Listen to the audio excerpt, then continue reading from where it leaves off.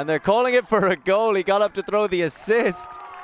But in the end, no need as Branigi gets the score. Here come the Dutch. And I'd have to say that was up, and there isn't even a dispute by the Hungarian. A little bit miraculous. Two Dutch players running down there. Spatzendorf has an open side. Tries to hit it, but a huge layout D. Excellent effort by Vassenberg. Now you have to throw it to him. What are they doing? What is this? I've seen a bunch of people along the sidelines do this over the course of the tournament. What is it? And they're going to open up a shot all the way across the field. Defenders there on the back, but he does not get there in time. That is a fantastic snag from Lucas Biskupek. It was tight pressure. And our Fury as De Craan isolated in the deep space and a towering, posterizing sky from Toby De Craan. Oh, he just does this for a living, Felix. Is, is uh, Japan not chasing down the pool. Oh, and a fantastic layup. Coming down with the zone and then transitioning into one-to-one. -one. The lanky Leesmans with a lead throw. Great reception. So Belgium could just give themselves a little bit of room to work with. No, they can't. Oh, my God. Lucas Biskupek Unfortunately, it doesn't work out. Janssen has no such reservations about sending it to Morrison. You should have thrown it earlier. And what a way to get the medal! Janssen feeding Morrison, the little man, and I think he might be done. Good for him. So is his whole team after that phenomenal play. The Netherlands take home bronze. And a well-deserved bronze medal as well. Heartbreak for Hungary. Did she get a touch on that? I think there might have been a point block. She definitely put the pressure on that caused the turnover. And they go for another ambitious shot immediately to the end zone. And it's it's not quite a break yet. And it's caught for a break. Once more on offense. Babu puts it up the line to Simoni. And a layout grab will be caught. What an amazing display of skill on this French side. And Mabe Connaissant under it a lot of Italian bodies. Does he how she did, did she get there? What? Gonna getting end zone eyes, and there's gonna be bodies underneath it, and a big defensive effort by Rollet. It's always a clean defensive block as the French shoot back. Amazing put into the into space, and Rollet's gonna collect it. How did she get her hands around that one? 7-6, a four-point run by Latvia.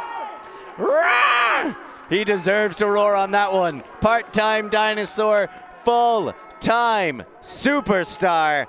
Cutting very hard for the Spanish side. Goes with a huge arcing blade this time, looking for Cordero! What a way to take half! What a grab! Just gets high fly so long. And he, I don't know how he got that. Trying to go down the line. Smooth, bounces off of a few hands, and Lazdane, she's gotten probably the two most important scores for the Latvians. Jaegers gets it to Chernovs in the middle of the pitch, and that's really well done. And you can see that Ilgash felt the pressure from Padilla. Phillips keeps it moving. Decides he doesn't want the deep shot immediately. He takes on the second chance. It's two people down there, but only Jaegers goes and gets it. And that is an absolutely Jurassic play. Latvians perform before at under 24 here as well on the live stream at this under 20 event. Of course, it's Takash always there for a good reset and always there to put it as well into the zone and into the hands of Bynok. Hellas just just shy of the end zone. The handler's now moving it quickly. Oh, what a throw! What was that, Christina? Sister will get it back and gonna work it up the field. What a great work from that player. As what great hands there. Havlova showing once more a display. And Unbelievable flow there, Christina. The red zone of the Hungarians. And she's gonna launch it deep immediately. Tech player over it and she can't reach it and we're going to universe. And that was Halas again, keeping this game alive. So first up line cut doesn't get thrown to, neither does the second. Now going to swing a blade all over to the far side of the pitch. Aurora Jonsson with a fantastic tiptoe, ballerina-esque. We'll see if she could just about keep it down to Juliette Bruel.